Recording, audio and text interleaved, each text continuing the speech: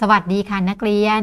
วันนี้วิชาวิทยาการคำนวณนะคะ เรามาทำแบบทดสอบท้ายหน่วยกันค่ะ ก่อนที่ทำแบบทดสอบท้ายหน่วยนะคะครูก็จะทบทวนความรู้ให้นักเรียนก่อนนะคะ เราจะมีแบบทดสอบท้ายหน่วยจำนวน 10 ข้อค่ะ เริ่มเลยนะคะนักเรียน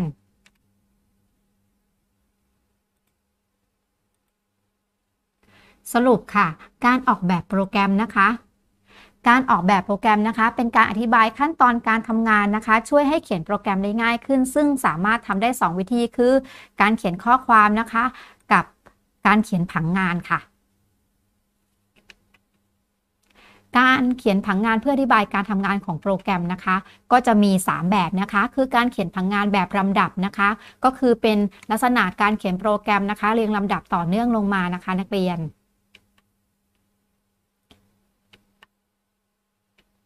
ต่อมา 2 ค่ะ การเขียนผังงานแบบทางเลือกค่ะ ก็จะมีการตัดสินใจนะคะ 2 ทิศทางนะคะ ใช่กับไม่ใช่ค่ะ ในกระบวนการในการเขียนโปรแกรมนะคะ ซึ่งมีเงื่อนไขเข้ามาเกี่ยวข้องในการเขียนโปรแกรมค่ะ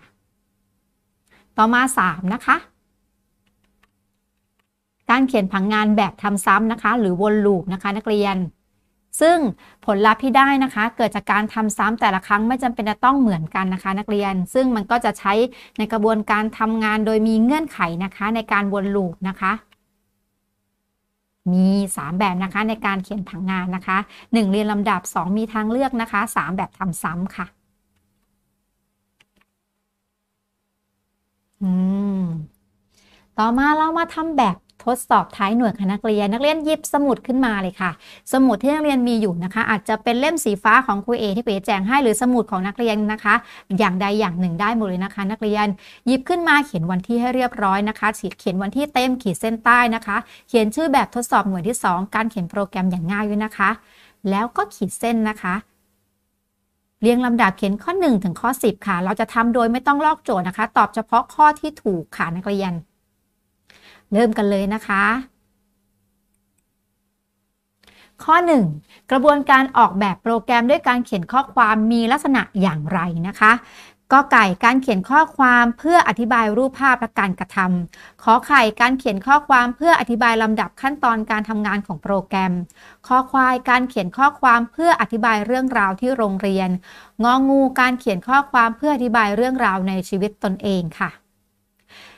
ถ้าใครไม่ทันนะคะ นักเรียนก็สามารถย้อนกลับไปนะคะ แล้วก็ฟังโจทย์ใหม่นะคะ หรือกด stop นะคะ เพื่ออ่านโจทย์เองค่ะข้อต่อไปนะคะนักเรียน 2. ประโยชน์และความสำคัญของการออกแบบโปรแกรมด้วยการเขียนแบบข้อความคือข้อใดคะ กอไก่การเขียนโปรแกรมช้าลง ขอไข่การเขียนโปรแกรมเก่งขึ้น ขอควายการเขียนโปรแกรมมีข้อผิดพลาดเล็กน้อย งองูการเขียนโปรแกรมมีข้อผิดพลาดมากขึ้นค่ะ ต่อไปข้อที่ 3 นะคะ การออกแบบโปรแกรมด้วยการเขียนผังงานควรมีองค์ประกอบอย่างไรคะ กอไก่คำพูดและการกระทำขอไข่สัญลักษณ์และรูปภาพขอควายรูปภาพและการกระทำงองู สัญลักษณ์และข้อความค่ะ ข้อ 4 นะคะ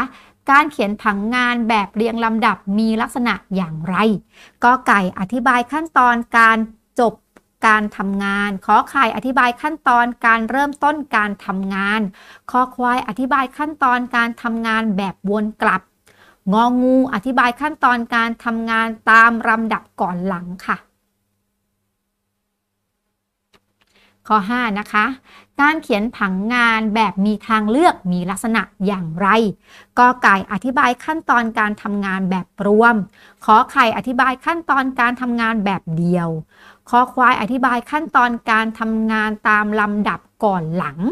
งองูอธิบายขั้นตอนการทำงานแบบมีการกำหนดเงื่อนไขค่ะ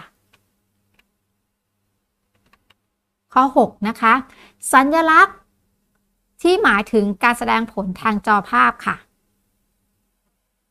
กอไก่ขอไข่ขอควายงองูค่ะ การหาพื้นที่วงกลมในโปรแกรม Sketch ควรเลือกใช้วิธีการใดจึงจะเหมาะสมนะคะกอไก่การเขียนผังงานแบบทำซ้ำขอไข่การเขียนผังงานแบบเรียงลำดับคอควายการเขียนผังงานแบบมีทางเลือก งองูการเขียนผังงานแบบหลายทางเลือก อันนี้มีในตัวอย่างใน EP ที่ครูเอสอนไปด้วยนะคะ ถ้าใครดูครบทุก EP ทำข้อสอบเวได้แน่นอนค่ะ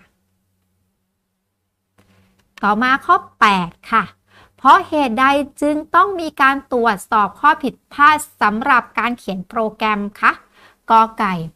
เพื่อตรวจสอบก่อนนำไปใช้จริงว่ามีข้อผิดพลาดจากการเขียนโปรแกรมหรือไม่ ขอไข่เพื่อสรุปการทำงานทั้งหมดของการเขียนโปรแกรม ขอควายการวางแผนขั้นตอนการทำงานและการเขียนโปรแกรม และงองูเพื่อแก้ไขปรับปรุงการเขียนโปรแกรมให้ทันสมัยมากยิ่งขึ้นค่ะ ข้อ 9 ค่ะ การเขียนผังงานแบบเรียงลำดับควรเลือกใช้สัญลักษณ์ที่มีทิศทางอย่างไรคะนักเรียนดูที่หัวลูกศรเป็นหลักนะคะ หมายถึงทิศทางการทำงานของโปรแกรมค่ะกอไก่ขอไข่ขอควายงองูคะแอบใบนะเนี่ย ต่อไปค่ะ ข้อสุดท้ายแล้ว การตรวจสอบข้อผิดพลาดของโปรแกรมมีประโยชน์อย่างไรคะ กอไก่ตรวจสอบว่ามีคำสั่งแบบใดบ้าง ขอไข่ตรวจสอบว่ามีการเขียนแบบใด คอควายตรวจสอบว่ามีความสวยงามหรือไม่ งองูตรวจสอบโปรแกรมเพื่อให้แน่ใจว่าสามารถแก้ปัญหาได้เฮ้ยทำครบแล้วทั้ง 10 ข้อไม่ยากเลยใช่ไหมคะนักเรียนคุยเอนะคะ รอตรวจ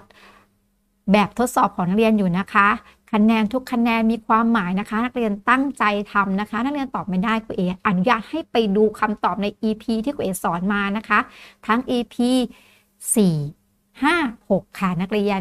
พบกันใหม่ใน EP หน้าซึ่งจะเป็น EP ที่ขึ้นเรื่องใหม่ค่ะนักเรียน สวัสดีค่ะ